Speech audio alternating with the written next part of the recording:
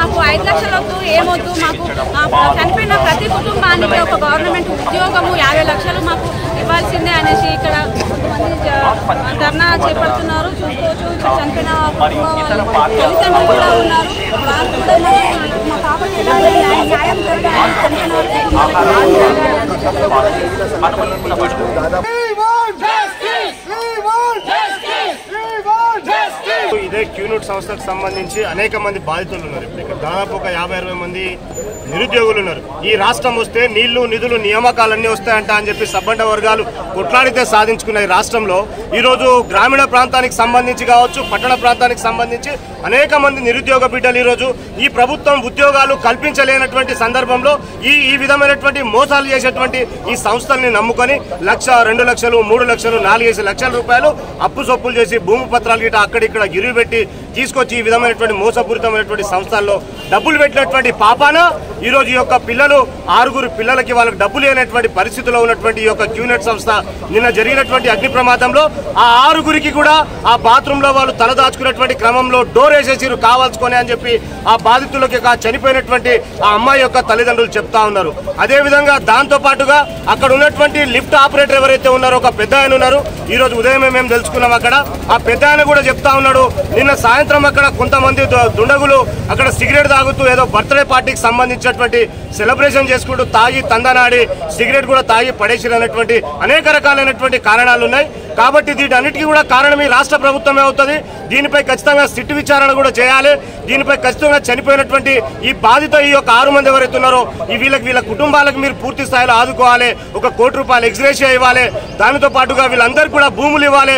ఇల్లు లేనటువంటి నిరుపేదలకు వీళ్ళందరూ కాబట్టి వీళ్ళకి మీరు డబుల్ బెడ్రూమ్లో ఇళ్ళను కల్పించాలని చెప్పి వీళ్ళని ఆదుకోవాలి. దాంతో పాటుగా ఈ సంస్థకి సంబంధించినటువంటి ఈ యొక్క బాధితులు ఎవరైతే ఉన్నారో ఈ బాధితులకి మోసం చేస్తున్నటువంటి ఈ యొక్క సీఈఓలు నలుగురు శివ అనేటువంటి వ్యక్తి వారితో పాటు మరొక ముగ్గురు ఉన్నారు మొత్తం నలుగురు సీఈఓలు వీళ్ళని ఇప్పటి వరకు కూడా ఈ రాష్ట్ర ప్రభుత్వం చోద్యం చేస్తా ఉంది కానీ వీళ్ళని అరెస్ట్ చేయలేదని చెప్పి వాళ్ళని ఖచ్చితంగా అరెస్ట్ చేసే వారికి ఈ బాధితుల పక్షాన ఈ చనిపోయినటువంటి ఈ అమాయకుల పక్షాన ఈరోజు భారతీయ జనతా పార్టీ కొట్లాడుతూ ఉందని చెప్పి మేము హెచ్చరిస్తా ఉన్నాం. వీళ్ళందరికీ వీళ్ళందరూ ఇప్పటివరకు ఏదైతే కట్టిరో డబ్బులు ఆ డబ్బులు తిరిగి ఇమీడియట్గా తక్షణమే వీళ్ళకి ఆ యొక్క స్క్యూనెట్ సంస్థ నుంచి ప్రభుత్వమే దగ్గరుండి వీళ్ళకి డబ్బులు ఇప్పియాలి.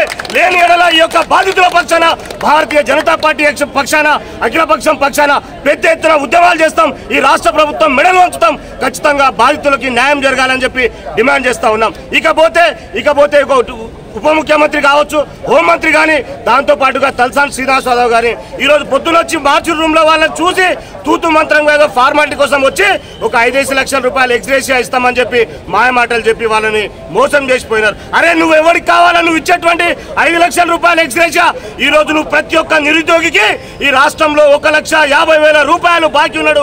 నిరుద్యోగ భృతి ఇవ్వనందువల్ల అదే నిరుద్యోగికి ఈ రోజు ఈ రాష్ట్రంలో దాదాపు నలభై లక్షలకు పైచిలకు నిరుద్యోగులు ఉన్నారు. ఈ నిరుద్యోగ బిడ్డలందరికీ కూడా ఈ రోజు ఉద్యోగాలు కల్పించినుంటే ఈ రోజు ఈ యొక్క ఆరు మంది అమాయకమైనటువంటి పిల్లలు బలిగొనేవారా అని చెప్పేసి రాష్ట్ర ప్రభుత్వాన్ని ప్రశ్నిస్తా ఉన్నాం మేము. కాబట్టి ఖచ్చితంగా దీన్ని పూర్తి బాధ్యత రాష్ట్ర ప్రభుత్వమే తీసుకోవాలి. రాష్ట్ర ప్రభుత్వం ఖచ్చితంగా నిజంగా ఇప్పటికైనా ఈ కపట ప్రేమని నటించకుండా ఖచ్చితంగా బాధితుల పక్షాన చనిపోయినటువంటి కుటుంబాల పక్షాన ఉండాలని చెప్పేసి మేము డిమాండ్ చేస్తా ఉన్నాం. అరెస్ట్ చేయాలి క్యూనెట్ బాధితులని. అరెస్ట్ చేయాలి క్యూనెట్ బాధితులని. అరెస్ట్ చేయాలి క్యూనెట్ బాధితులని. ఆదుకోవాలి క్యూనెట్ బాధితులని. బాధితులని అరెస్ట్ చేయాలి క్యూనెట్ యాజమాన్యాన్ని. అరెస్ట్ చేయాలి క్యూనెట్ యాజమాన్యాన్ని. కూడా ఇలాంటి సంఘటనలు జరిగినాయి. ప్రభుత్వం వస్తుంది మాటలు మాట్లాడుతుంది టైం పాస్ చేసి వెళ్ళిపోతుంది. మరి గతంలో చనిపోయిన వాళ్ళు కూడా ఇప్పటివరకు ఏం చేయలేరు మరి ఇప్పుడు ఒక ప్రమిళ అమ్మాయి మా చెల్లెలు అంటే మా అమ్మాయి ఎవరు చనిపోయింది అంటే చూడు వాళ్ళ అమ్మాయి ఇక్కడే ఉంది. ఆ అమ్మాయి పైన మొత్తం ఆ ఫ్యామిలీ అంతా డిపెండ్ అయి ఉంది. ఈ ప్రభుత్వం వచ్చి మూడు లక్షలు ఐదు లక్షలు అంటుంది అవన్నీ పక్కన పెట్టి. ప్రతి చనిపోయిన ప్రతి ఒక్కరికి యాభై లక్షల ఎక్స్ప్రెస్ అయ్యాలి ఒక గవర్నమెంట్ ఉద్యోగం ఇమీడియట్లీ చూసుకుంటున్నట్టయితే బీజేపీ కార్యకర్తలు కూడా ఇక్కడ గాంధీ హాస్పిటల్ దగ్గర ధర్నా చేపట్టడం జరుగుతుంది.